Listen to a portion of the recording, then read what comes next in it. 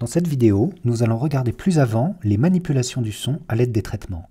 Le séquenceur de traitement offre des possibilités très intéressantes de combinaison des transformations sonores avec les analyses du son, et notamment les analyses temporelles. Écoutons cette voix. Quelques éclairs, lueurs, enfin des taches blanches. Mes yeux s'ouvrent lentement. Je vais utiliser des marqueurs pour délimiter des zones de traitement. Il est possible de déposer des marqueurs à la main, un marqueur qui envoie un retour sonore, un petit clic, avec la touche B.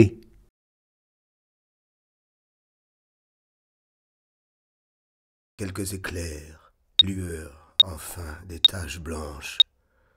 Mes yeux s'ouvrent lentement. Pour voir le son jusqu'au bout, je cache le spectre à court terme avec commande K. Je sélectionne maintenant une zone du son et j'y place un traitement, une transposition par exemple. Je peux dupliquer le traitement. Ensuite, dans le menu Edit, je choisis l'option Expand to Markers pour synchroniser le début et la fin de mon traitement sur les marqueurs voisins.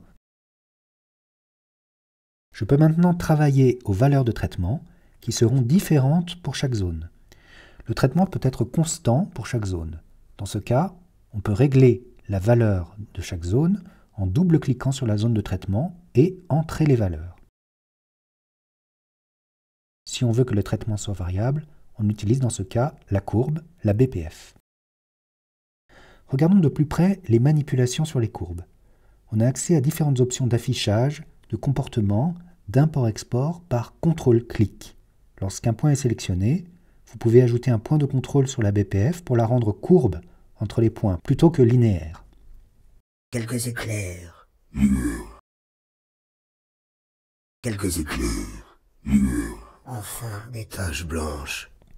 Je vais maintenant ajouter des traitements temporels, le freeze ou gel du son.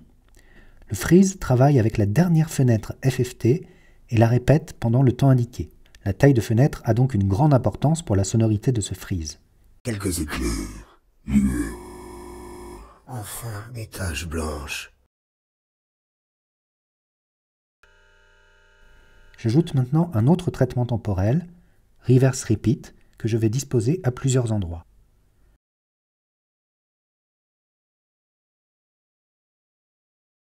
Quelques. Enfin, enfin, des taches blanches. J'ai mes yeux s'ouvrent lentement. Je peux écouter toute la séquence en mode aperçu et observer le fonctionnement de chaque traitement en utilisant les boutons Mute et Solo qui sont au début de chaque piste de traitement. Quelques éclairs. Enfin, des taches blanches. Mes yeux sont...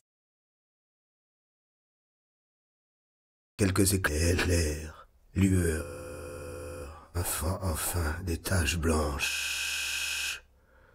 Deuxième, mes yeux s'ouvrent lentement. Quelques éclairs. Enfin, des taches blanches.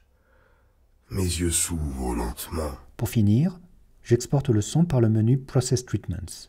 Il y a différents paramètres pour calculer le nouveau son que nous examinerons dans une vidéo ultérieure. Quelques éclairs. Enfin, des taches blanches. Mes yeux s'ouvrent lentement.